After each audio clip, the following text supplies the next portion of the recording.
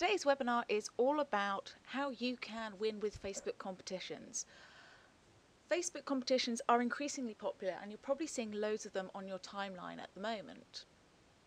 But there are ways of doing it that are what I would call best practice, not only because it's the correct way of doing it, but also because you're going to get much better results. But the first step is why run a competition? And realistically, the answer isn't because everybody else is. And I think that's when you see something happening a lot, it's easy to assume that it's the right thing for you. Um, I think one of the primary reasons a lot of people run a competition is because they want to increase their fan base. And it is, it's a great way of encouraging interest about your page.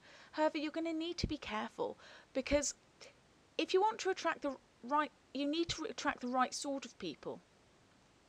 You know, there's a lot of professional competition enterers out there. And if you end up getting lots of fans who don't engage with your page, it's going to really negatively impact um, your EdgeRank score, which means you will end up having less of your posts being shown to your actual true fans. Um, what they can also do is actually breathe a bit of life back into your page. It can help increase that engagement and generate a bit of buzz, especially if it involves your users generating content. You know, for example, if they have to take a photo or upload a video.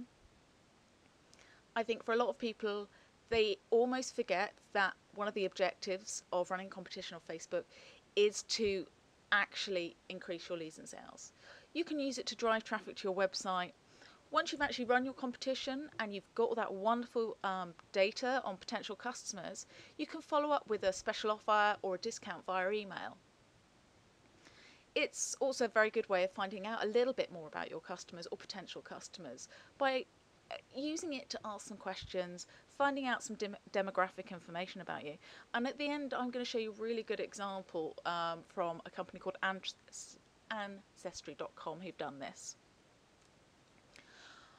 Also, in addition to actually being very engaging having user-generated content, the, one of the benefits of it is that it can be used on your other platforms. You can use it on your website, you can use it on email. It helps generate the impression that your brand has a human face and you're really interested in your customer. Before you start, and it's very easy to get enthusiastic and get going with it, is to identify what you want to achieve. So in that slide before, we looked at all the things you could use a competition to do. So identify those goals specific to this competition that you're running. Also, you need to set a budget. Um, there's going to be a cost of a prize. Are you going to do any advertising or promotion? Are you going to put some money towards that? Also, setup costs. Are you going to spend any money designing banners and artwork? having amends to your website done. And then pick a prize. Oh, sorry. Decide on the type of competition. So there's two main types of competition. You've got a sweepstakes, which is a really simple prize draw. And they're really popular because they take such a little effort to enter that you should get lots and lots of responses. But again, that depends on what you want to achieve. A user generated content contest is going to get you more from your engaged fans, you know, because it takes more effort. They have to upload photos, shoot videos, write stories. Um, but you also have the benefit, like I said before, that you can reutilize that content. And then picking a prize, make sure it's relevant. You know, you want to attract the right sort of entrants, so make sure the prize is relevant to your business. And if you can make it something worth winning, especially if you want people to make an effort, you know, a £10 voucher just really isn't going to cut it. The best prizes are based on experiences or things that are really difficult to get hold of. So if you have a restaurant, for example, you could offer cooking lessons with the chef. So you want to get as much bang for your buck, and it can be very tempting to run your competition for a really long time. But realistically, it's go- like a lot of things, it's going to have a life cycle. And I would suggest sort of about two weeks to one month. It gives you enough time to get the visibility and get in front of people, but not so long that it starts to lose momentum. Now, this final point is really important. You have to make sure this is legal. Competition rule, every area, every country has competition law. You will find it normally in whatever government department deals with gambling. Um, I highly recommend you check that out. You really don't want to get yourself in trouble. And I think you'll find is that they would all expect your competition to have terms and conditions. And terms and conditions are things like having a closing date, having an entry criteria. For example, what date are you going to announce a winner? How's the winner going to be chosen? And you know, are you going to offer a cash alternative? And then a privacy notice. You have to tell people what you're going to do with the data you collect. If you're collecting personal details such as their email address, what are you going to do with it? Are you going to use it to market to them? Are you going to sell it on to the highest bidder? It has to be stated up front. And finally, the Facebook competitions rules. I see so many illegal competition But, you know, I think it's worth spending a little bit of time on this. You know, and they're not doing it to cause you trouble or make it difficult. They're covering themselves from a legal standpoint. It has to be clear that the competition is not endorsed or run through Facebook. So, what you can't do, you can't use a Facebook function to be entered to the, into the competition. So, for example, you can't ask people to like something to win, or to like something to be entered. Um, you can't ask people to share a photo, status update to win, or you can't ask them to comment to win. Now, one of the ways that Facebook wants you to do this is by using what we call a third party application. Now, these are, you may have seen lots of different apps on Facebook, and there are lots of companies out there, including Wildfire app and ShortStack, that give you the tools to run a competition on your wall, making it on your Facebook page, making it really simple for you. They even have special places for you to put in your terms and conditions and privacy notice. Look at what you want to achieve with your competition before you pick your app. Um, it could really do with certain level of customization. Um, you need to be able to put, maybe change your banners, for example. Um, once you actually have run your competition and you do have a winner, you can't announce the winner on your wall. You have to first contact the winner directly, either by telephone, email, or snail mail before you start putting it on your Facebook wall. And finally, you can't promote it on your timeline banner. Now, there's a whole nother set of rules related to your timeline banner, and that is um, about the amount of text you can have on there and calls to action and those rules actually negate you being able to promote on um, your timeline banner. Um, I would really recommend you look at this link and have a read of the full competition guidelines here because we are actually seeing an increase now of pages being taken down and more action being taken by Facebook against people who are going against terms and conditions not only in competitions but in um, you know what they're putting in their timeline photos example for example so you really want to achieve a lot of entries for your competition you want it to be popular uh, and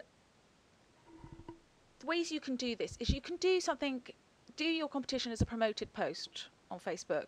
And the benefit of this is one, it's really easy to do and it's a low cost. And not only do you reach, can you reach your existing fans, but you can reach their fans, their friends. And every time somebody enters your competition, when you're using a third party app, it will show up on that person's wall for all their friends to see. And they are increasing the number of people who are seeing the competition who are more likely to enter. Also, Facebook ads are really helpful because they can give you really specific targeting.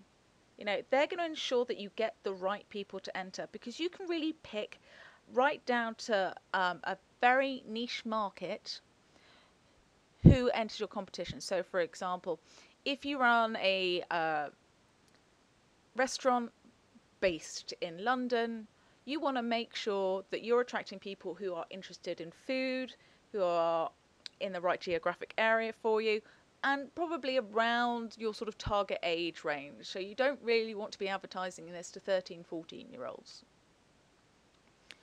Also, share it on other social networks. Now, I just mentioned earlier wildfire apps, and when somebody enters that competition, it also shows up on Twitter. You can put it on Pinterest as a pin. You can add it to Google Plus. You can put it on Instagram. There's no end of other places that you can share this. Wherever you have a presence and where you think your target audience is hanging out, you can publicize your competition there. If you have an email list, which I recommend everybody has, um, do a specific email out to them. Make sure that you have a really amazing subject line so they really want to open it. They can't resist opening that email.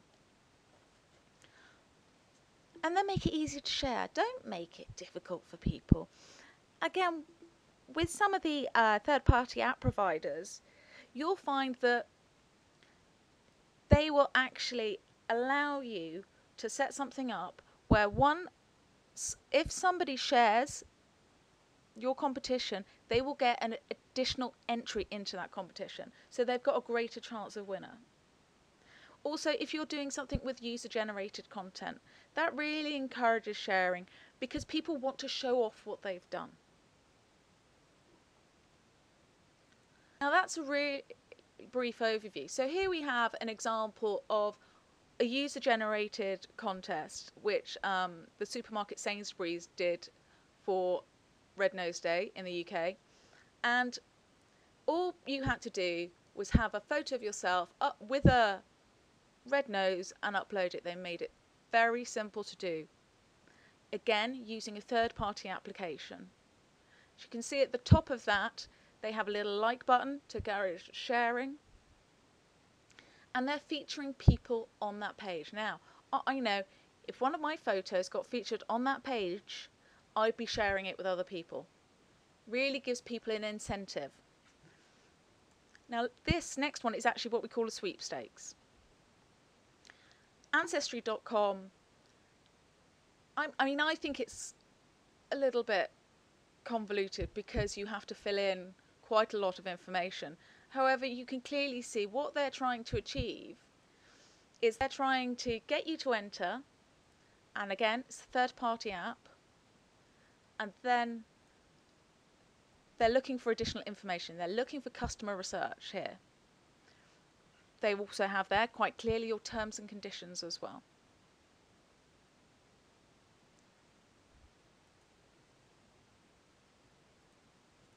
So that's a really nice example of a sweepstakes competition. It doesn't have to be that complicated. If you want to encourage people to enter and your objective is to grow your fans or increase your engagement, all you need to really ask for is their name and their email address. Like I said, make it easy for them to enter. Don't make it difficult. So that's a really quick power through of how you can run a Facebook competition and to maximum effect. There's so much potential when you're running these competitions, and I would recommend if you are interested in doing them, start off maybe by doing them once a quarter to re really keep up that momentum and keep up that engagement level. So, if you want to get in touch with me, my name is Katherine Salt, and obviously you can find me on Facebook at facebook.com forward slash marketingmy. Also, you can tweet me at marketmy, and my website is at marketingmy.co.uk.